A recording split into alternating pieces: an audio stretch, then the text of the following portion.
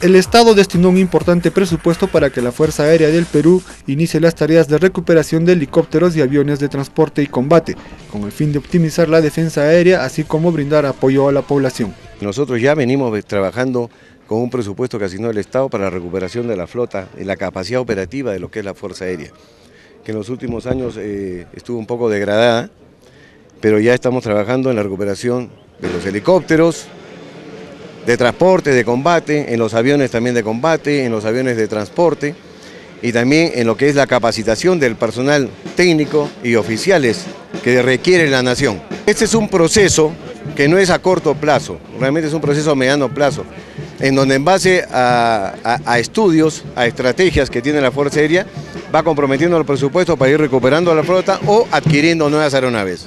Estas naves que están siendo reparadas serán destinadas también para la lucha contra el narcotráfico en la zona del BRAE.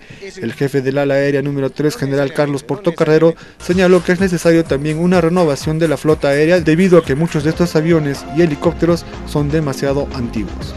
En el ala sur ya venimos recuperando los aviones de combate, como le digo, y los helicópteros, que también pronto van a ir a la zona del BRAE para apoyar también a la defensa y desarrollo de la zona. ¿Qué porcentaje de estos helicópteros han estado en mal estado? Bueno, hemos tenido una gran cantidad de helicópteros inoperativos, pero ya estamos recuperándolos. Tengan la seguridad de que la Fuerza Aérea viene trabajando en esa recuperación. ¿Podrían adquirir nuevas naves para la seguridad aérea del Perú? La idea es seguir siempre renovando las flotas.